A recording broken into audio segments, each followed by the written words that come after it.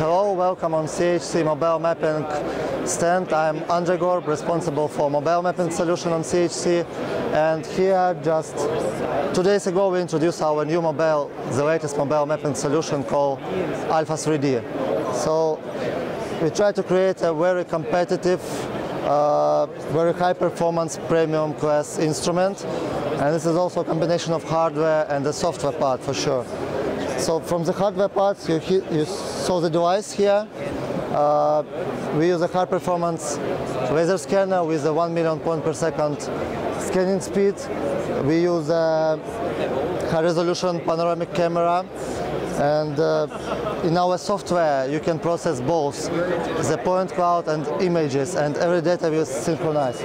Also we achieve a very high accuracy of maximum 3 centimeter difference because we use a very high precision GNSS inside and very precise IMU.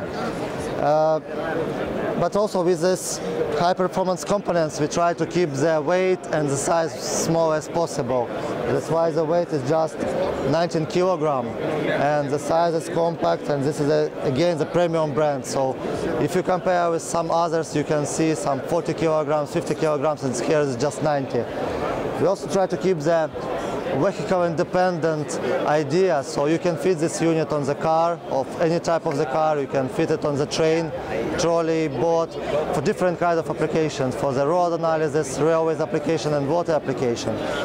You can see here some a lot of ports. Some of them are for synchronization with additional sensors such as a ground penetration radar or thermal camera for the thermal image and also for echo sounders. So you will get some additional information, not just point cloud and image, but you can get a thermal image and you can see what people cannot see by, by the eyes. You, but you can see the data which you cannot recognize by point cloud or by traditional images. So you can step in for a new application, you can run your business better, you can return investments much faster. From the software part, this is our own CHC software.